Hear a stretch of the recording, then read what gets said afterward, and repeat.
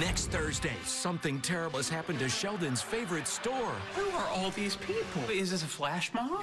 It got popular. What am I supposed to do now if I want to hang out and read a comic book? Go sit on the couch next to a stranger? If I'm going to sit, read, and ignore a woman, it's going to be my fiance. A new Big Bang Theory, CBS next Thursday. Yeah.